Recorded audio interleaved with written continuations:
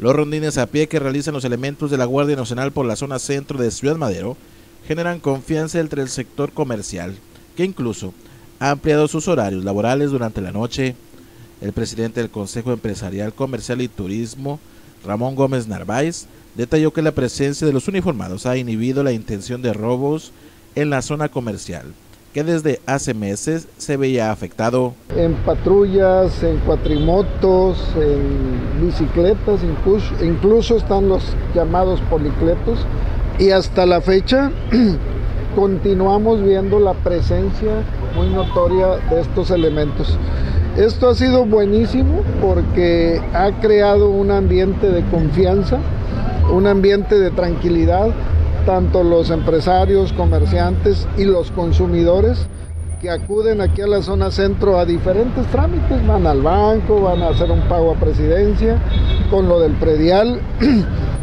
y hacer sus compras al mercado municipal, a la zona centro de Madero, pues se ha creado un ambiente de tranquilidad muy notorio y lo agradecemos bastante en lo que es algo bueno, pues les da gusto tener la posibilidad de recibir los rondines de hasta grupo de cuatro elementos.